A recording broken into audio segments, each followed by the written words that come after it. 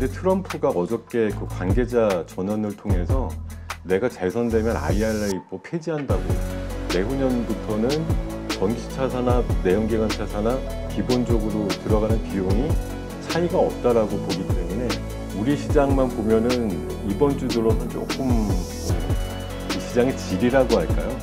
그런 부분들이 약간 좀 악화됐다고 볼 수는 있습니다. 이런 것들은 저희가 볼땐 반발 이슈는 아니다 이런 판단이 들었고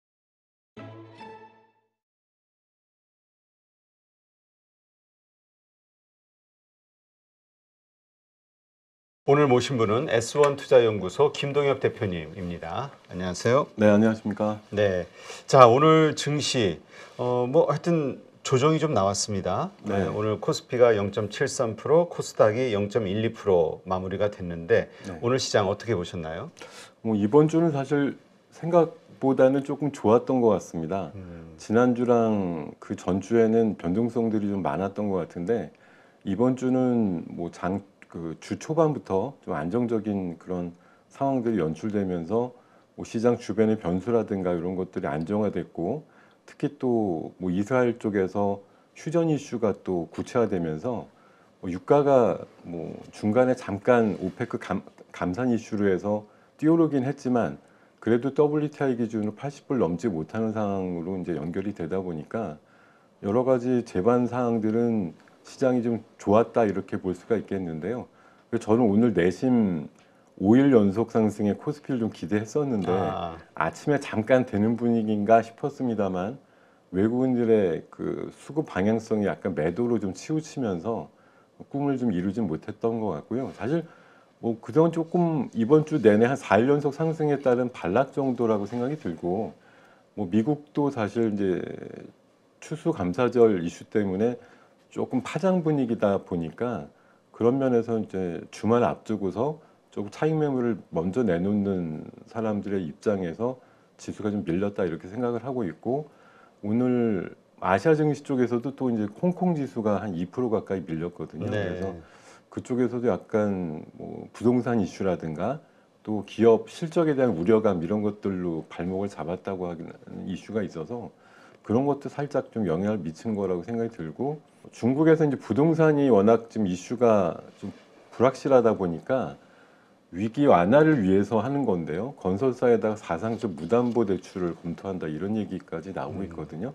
물론 단기에는 뭐 우는 아이한테 사탕을 주는 식이 될 수도 있겠습니다만 뭘 믿고 무담보로 대출을 막 해주겠다는 건지 솔직히 좀 어, 이해는 안 되고요. 음, 뭐 저런 것들이 장기적으로 봐서는 이게 과연 회사들한테 득이 될 거냐 아니면 시장 전체나 나라 경제에 도움이 될 거냐 하는 면에 있어서는 약간 좀 다시 한번 곱씹어 봐야 될 재료가 아닌가 이렇게 좀 생각을 해보던 하루였습니다. 네.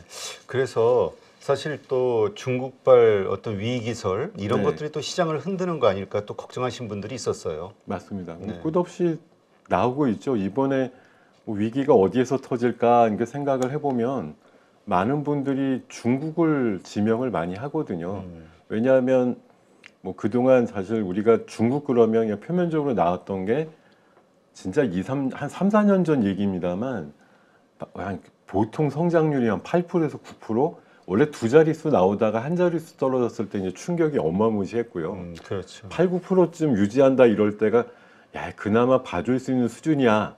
다른 나라든 2, 3% 하면서도 중국은 8%, 9%쯤 해야 돼. 뭐 이런 이제 당위성들이 있었는데 이게 최근에 이제 4%대까지 낮아지다 보니까요.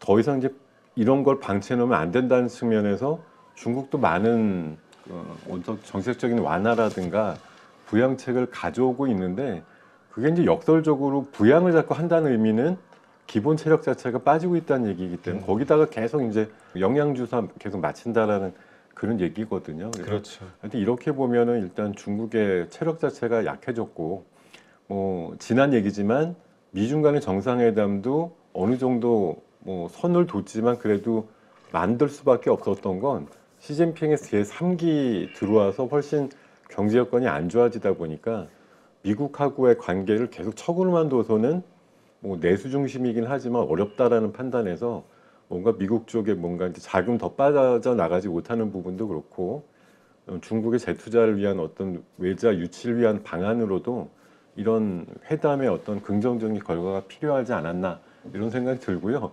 그 회담 끝나고 왜 갑자기 생각이 나는데 어, 바이든한테 물었다 그러죠 기자가 여전히 시진핑은 독재자인가 이랬더니 여- 아직 독재자지 그렇게 얘기를 했는데도 사실 중국이 아주 잠깐 성질 낸 거 말고는 뭐 후속은 없더라고요. 음. 그러니까 그 지금 원래 이제 중국의 이러한 경기 침체, 디플레이션 상황 네. 이게 그 정상적인 그 뭐죠 자유 그 무역 시대 네. 이때였다면은 이게 자연스럽게 물가로 인해서 인플레이션으로 고생하는 미국이나 서방 세계 이쪽에 수출이 되면서 네. 중국 경제가 살고 이쪽에 인플레이션이 낮춰지면서 그렇습니다. 서로가 모두가 살아나는 이런 시스템인데 이게 이제 막혀가지고 더 힘들다 이런 얘기 하시는 분들도 있더라고요. 맞습니다. 저도 동감하는 부분이고요. 뭐 코로나 이후에 뭐 반강제적으로 만들어지고 있는 이런 어떤 물류 시장의 단절이라든가 또 진영 논리가 새로 생긴 부분, 또 지역적인 어떤 뭐 갈등이라든가 이런 것들로 야기되는 부분들이 상당히 음, 그런 부분들을 자극시키고 있고 원활하게 소통이 그러니까 어 이제 물류 자체니까요. 오고 가는 것이 자유로워야 되는데 이게 자유무역에서 보호무역 같은 느낌이 좀 날 정도로 상황들이 보수적으로 내 편 아니면 어, 자원 무기화 얘기도 있고 식량 무기화 얘기도 있듯이 내가 있는 건 잘 지키고 남들한테 쉽게 주지 않겠어 이제 이런 논리들이 많이 등장하고 있는 게 최근에 뭐 상황이 아닌가 생각이 들고 그런 의미에서 사실 이게 나 살고 너 죽자 이런 개념인데 이게 계속 가면은 너도 죽고 나도 죽고 그렇죠. 이런 상황이 되는 거죠. 그래서 걱정이에요. 뭐냐면 이제 증시도 뭐 미국만큼은 아니지만 우리도 좀 올라왔잖아요. 11월 달 들어와서 많이 올라왔죠. 네. 그러다 보니까 이제 주식을 처분해야 되는 거 아닌가. 다시 또 이런 악재들이 나오고 또 12월 FOMC도 이제 곧 다가오고 네. 그러니까 어, 비중을 좀 줄이거나 다시 현금을 좀 확보해야 되는 거 아닌가 이런 생각하시는 분들이 있거든요. 어떻게 보세요? 어, 저는 뭐 지금은 그럴 때는 아니라고 생각이 들고요. 제가 뭐 이 방송 출연해서 몇 번 말씀드린 것을 다시 한번 되짚어서 말씀드린다고 하면은 연말 장세 저는 나름대로 있다고 생각하는 편이라서 연말 흔히 말해 산타랠리라고 많이 하죠. 그 크리스마스 전후해 가지고 연초까지 만들어지는 어떤 시장에 대해서 사실 이제 그 저쪽 미국 쪽의 뭐 전문가 집단 여러 군데에서는 산타랠리가 금방 끝난다 이렇게 얘기하는 사람들도 있고요. 음, 이제 후- 이번 오늘 뭐 홍콩 증시라 이런 걸 보더라도 또 최근에 미국의 어닝 시즌 지나면서 보더라도 미래에 대해서 별로 그렇게 아주 긍정적으로 보는 사인은 별로 없었던 것 같아요. 그러니까 이번 3분기 실적을 거의 피크로 해서 4분기나 내년도 상반기에는 조금 여러 가지 면에 예, 부정적인 어떤 숫자가 찍힐 가능성이 높다라고 판단들은 하시는 것 같은데 그래서 저는 주가라는 측면들이 물론 그런 재료적인 측면도 있지만 수급적인 측면도 있고 또 모멘텀을 가지고 있는 미래 이벤트를 뭐 지향해 가지고 움직이는 부분도 있기 때문에 물론 지금 우리 시장만 보면은 이번 주 들어서 조금 뭐 그 시장의 질이라고 할까요? 그런 부분들이 약간 좀 악화됐다고 볼 수는 있습니다. 왜냐하면 제대로 뭐 숫자 베이스로 해서 좋은 기업들이 평가받는다기보다는 사실 좀 B급 테마라고 음. 볼수 있는 우리가 이제 B급이라고 얘기하면 어, 저런 게 왜 저렇게 가지라고 하는 것들이 이번 주에 사실 득세를 많이 했기 때문에 더욱 이제 그런 느낌들 우선주가 오히려 뭐 세게 오른다든지 품절주 또 아직은 아닌 것 같은데 정치 관련된 어떤 이슈들과 어, 엮인 종목들이 되게 강세를 띠는 모습들 같은 것들이 시장에 대해서는 조금 보수적인 판단을 할 수밖에 없게 만들긴 하지만 제가 보기에는 아직 연말장은 충분히 윗방향으로 열려 있다고 생각이 들고요. 뭐 많은 분들이 보수적으로 볼 때 특이하게 뭐 제 지론대로 소수 의견적인 측면에서 봤을 때 돌파구가 아직 있고 어, 내년도 뭐 상반기까지의 또 업황에 대한 기대감이 나오는 섹터들을 중심으로 해서 보신다고 하면 이게 전략적으로 내가 그 여러 갈래 줄 중에 어느 것들 그러니까 뭐 하늘에서 내린 동아줄 중에 어떤 주를 잡을 거냐 이런 게 좀 중요한 것 같아요. 제가 음. 봐선. 알겠습니다. 자, 하여튼 이러한 시장 그렇다면 지금 말씀대로 아직은 좀 더 희망을 갖고 주식 비중을 그럼 지금 가지고 있는 분이라면 그냥 뭐 가져가면 되는데 현금 있는 분들은 지금이라도 살 자리라고 보시나요? 일단 좀 많이 오른 상황이긴 하지만 지금 지수를 제가 굳이 판단을 드려보면 뭐 9월 정도 그러니까 FOMC 이후에 내렸던 부분의 정상화 부분이 저는 지금 진행이 되고 있다고 생각이 들거든요. 그래서 코스피 기준으로는 전 한 2,600선 정도까지 올라오면 적당하다고 생각이 들고요. 거기에 이제 플러스 알파가 붙는 부분들은 우리나라 이제 top2 업종인 자동차랑 반도체 쪽에 있어서의 어떤 긍정적인 사인들 이것들이 내년 봄까지 플러스가 되면서 거기에 알파 지수가 생길 거라고 보는 시각이기 때문에 뭐 지금 현금이 좀뭐 넉넉하신데 아, 고민이야라고 생각 어, 그런 분들이라고 하면 어, 이 방송뿐만 아니라 어, 우리 815 머니터를 통해서 이제 제시하는 그런 큰 줄기에 걸맞게 또 여기 나오시는 분들이 주장하시거나 이제 강조하시는 그런 부분들을 진짜 이게 아예 듣고 의심하고 이러실 게 아니고요. 좀 잘 기록도 해놓으시고 계속 추적도 하시면서 아, 요런 쪽이 정말 되는 거네라고 생각하시는 부분들이 있다고 하면 그런 쪽에 의미 있게 투여를 하시는 게 맞다 이렇게 생각하고 있습니다. 음, 알겠습니다. 자, 오늘 어쨌건 이렇게 좀 조정을 받을 때 빠지는 주식들도 있고 또 버티는 주식들도 있고 오르는 주식들도 있단 말이죠. 네, 오늘 시장 어, 가운데서 좀 특징적으로 본 게 있다면 어떤 게 있으실까요? 뭐 오늘도 일부 간헐적으로 뭐 정치 테마라든가 이런 것들이 좀 강세긴 했습니다만 뭐 그거 외에도 좀 좋게 올라가는 모양들이 나왔던 게 오늘 좀 의미 있게 제가 뭐 장중에 좀 매매를 한 부분이 그 한전 관련된 부분이었던 것 같아요. 음, 그 한전의 송전망에 대해서 이제 적자가 누적적으로 한 200조 이러다 보니까 이게 이게 계속 그냥 그 한전 중심으로만 독점적으로 송전망을 지금 날기도 많이 날궜고요. 예, 그런 부분들 좀 이런 뉴스가 오늘 있었는데 전맥경화라고 하더라고요. 그래서 음. 이게 처방전을 위해서 민간에다가 이 송전망 건설을 개방한다 이런 이슈 나오면서 한마디로 오늘 이제 전기차 붙은 회사들 아침에 되게 강했고요. 저는 이게 예, 지난 뭐 몇 주 전에도 한번 LS 전선 중심으로 해서 전선은 꼭 필요하다. 이게 전력 인프라 쪽에는 필수 소재이기 때문에 불의를 동반해서 전선주 꼭 필요하다고 말씀드렸는데 LS 전선 아시아도 사실 오전에는 한 두세 시간 거의 보합 수준에서 놀다가 막판에 한 12, 3% 정도 오르고 끝났거든요. 그래서 네. 전선주들하고 어, 전기 오늘 뭐 재룡산업이라든가 광명전기, 보성파워텍 이런 유들 강세가 좀 계속됐기 때문에 이런 것들은 저희가 봐선 단발 이슈는 아니다 이런 판단이 들었고 음, 장 초반에는 어저께 이제 이슈가 나왔던 것이 그 항공 대체 원료 관련 항공유 대체 원료 관련해서 몇 종목이 좀 시간에서 상한가까지 가는 종목이 있었는데요. 아주 일부를 제외하고는 거의 뭐 음봉 나거나 마이너스로 떨어져서 끝나는 종목들이 대부분이었던 것 같습니다. 음, 그렇군요. 그 외에 또 뭐 좀 관심 있게 보신 데는 있으실까요? 그 테슬라 쪽에서 중국에다 자율주행 쪽 뭐 3단계 이상의 레벨을 뭐 시스템을 공급한다. 그 FSD라고 하는 것 같던데요. 음. 그쪽 관련해서 자율주행 섹터도 좀 일부 강하게 움직였던 걸로. 그러게요. 자율주행 그 미국도 그렇고 뭐 그 지금 레벨 4 단계잖아요.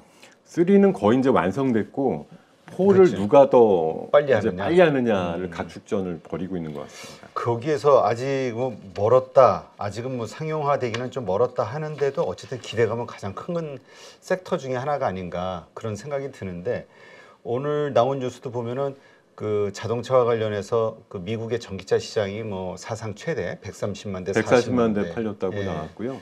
오늘 그 원래 또 제가 좀 자막으로는 준비를 못 했는데 골드만삭스에서 25년 정도 되면 배터리 가격이 40% 정도 낮아질 것이기 때문에 내연기관차랑 원가가 거의 동등해진다.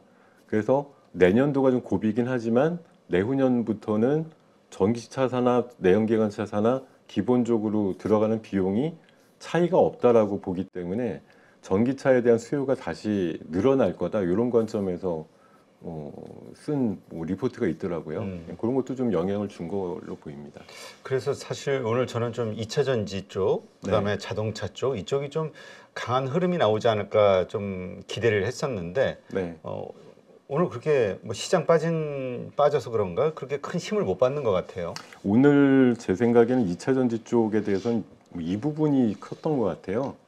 우리나라 이제 배터리나 2차 전지 쪽 업체들이 미국에다가 음. 뭐 투자하겠다고 약속했거나 이미 짓고 있는 전체 규모가 72조라고 합니다. 네. 근데 트럼프가 어저께 그 관계자 전원을 통해서 내가 재선되면 IRA 법 폐지한다고 아 그랬대요? 예 그랬답니다.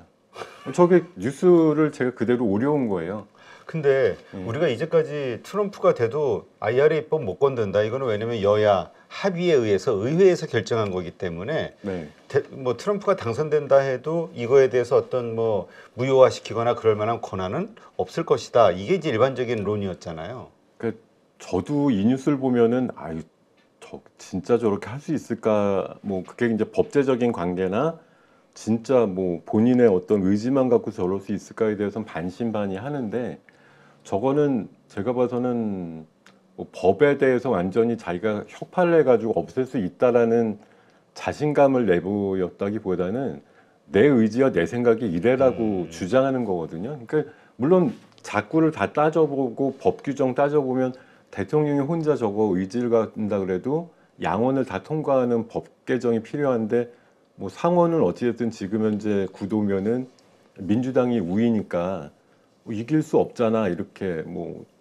그렇잖아요. 근데 이게 또 그 각 지역 뭐 현안이라든가 이런 걸로 따져 보면 우리나라 같지 않아서 그 당론으로 거의 정해지는 바가 없고 의원들이 또 이 반란표들 이런 것들이 있단 말이죠. 음. 그러니까 민주당이 당론으로 보거나 표 대결로 가면 상원에서 분명히 51대 49뭐 이런 식으로 우인 것 같은데도 바- 어떤 결과가 나올지도 모른다. 이제 공화당은 어차피 하원은 공화당 쪽이니까 그러니까 트럼프가 만약 그렇게 마음 먹으면 공화당은 그 의지대로 움직여 줄 거라는 그렇게 보시는 거군요. 공화당도 제가 그렇게 본다기보다는 지금 아, 지금 진짜 미국의 여론이 저런 여론들과 또 최근에 나온 조사도 뭐 바이든 43% 트럼프 47% 이제 이런 식으로 평균적인 그 결과가 나오면서 어, 요새 누가 실시를 하더라도 트럼프 위로 나오다 보니까 트럼프의 저런 한마디 한마디가 물론 1년 남았고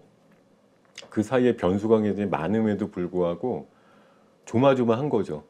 1년 정도 남았는데 우리는 계속 어찌됐든 투자를 계속하고 현대기아차 지난주에 말씀드린 것처럼 굽히지 않고 현대 장장 전기차 안 팔린다고 투자 멈추지 않겠어 이렇게 천명을 했는데 만약 저런 게 진짜 내년 이맘때쯤 재선과 동시에 현실화 되었을 때는 어떻게 할 거지라는 우려가 좀 있을 수 있다는 겁니다. 음, 그래서 오늘 저 2차 전지에는 저것이 좀 악재가 됐다. 제가 보기엔 한 가지 재료는 됐다고 봅니다. 근데 이제 그 가능성이 없다 하더라도 저렇게 일단 막 립 서비스를 하는 게 트럼프는 지금 선거에 도움이 된다라고 판단하나 보죠.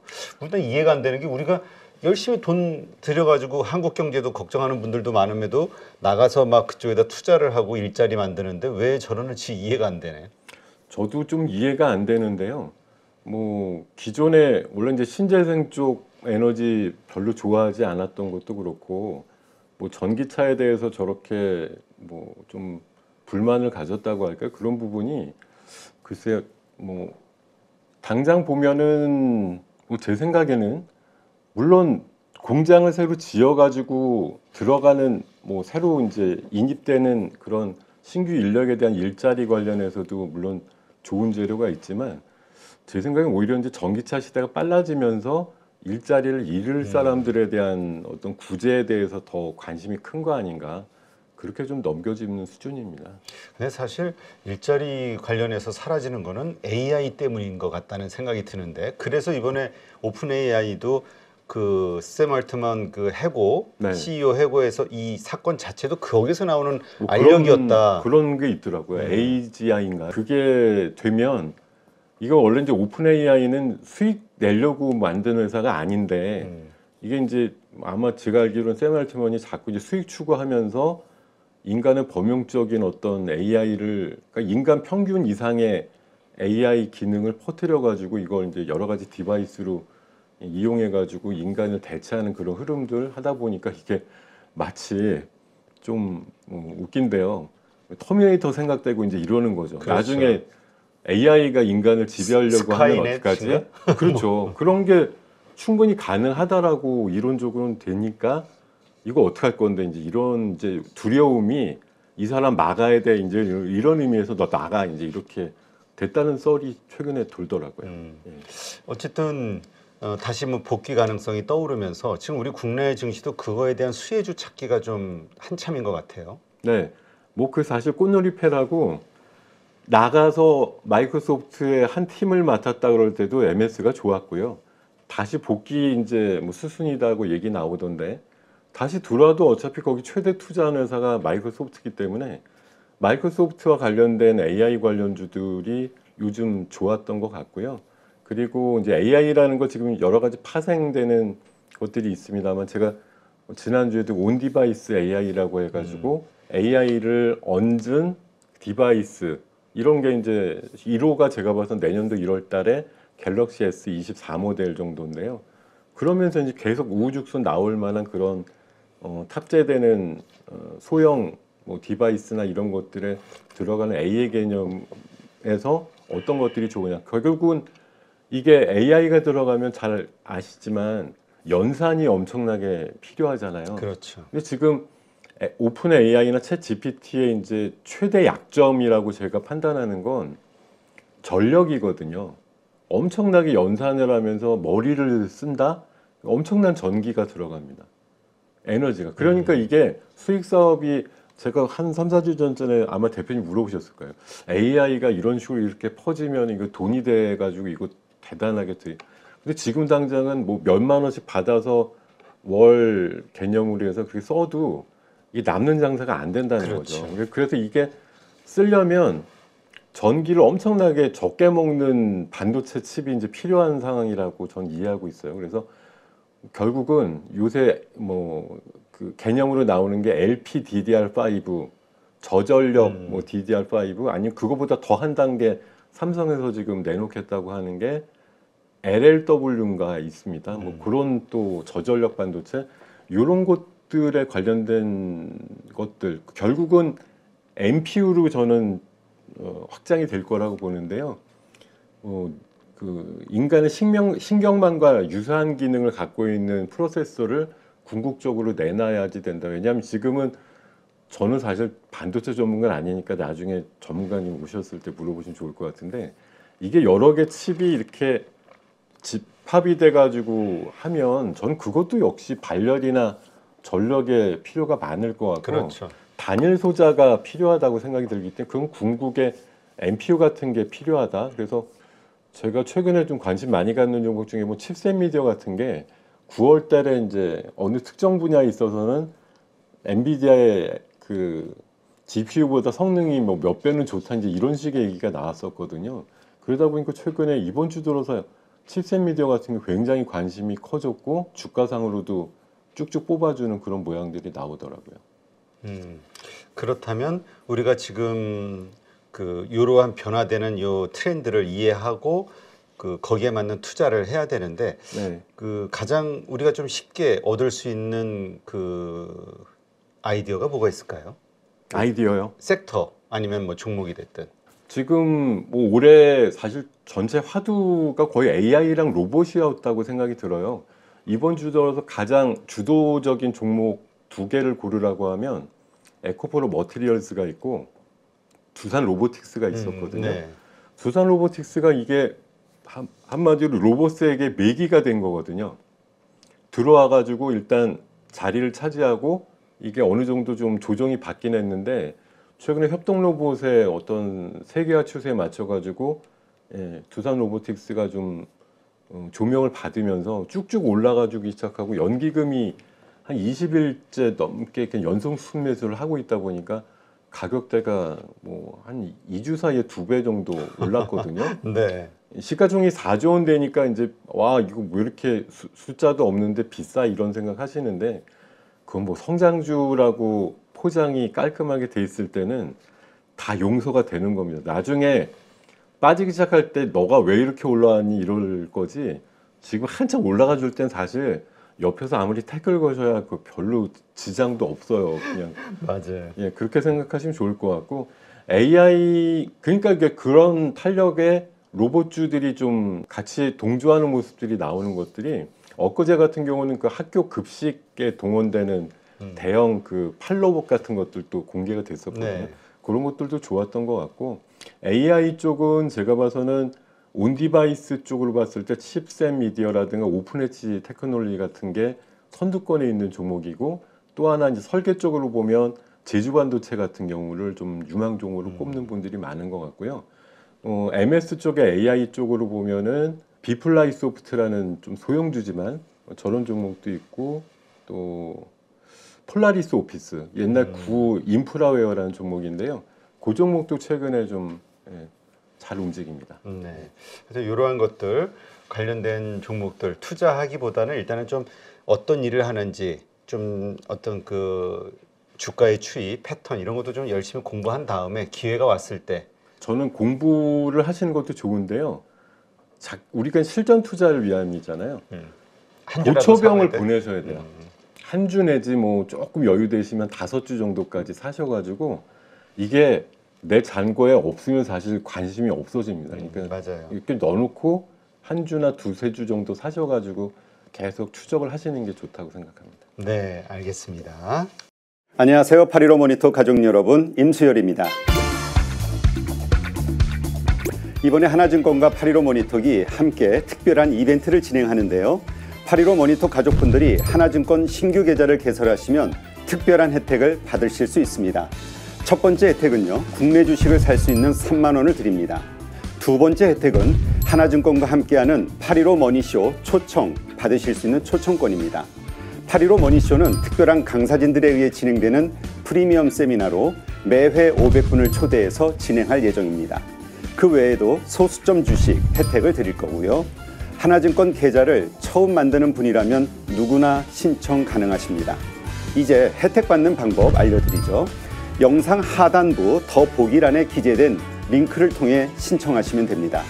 반드시 더보기란 링크를 통해서 계좌를 개설해야 이 혜택을 받을 수 있으니 유의해 주시기 바랍니다. 하나증권과 파리로 머니톡이 함께 주식으로 하나 되다.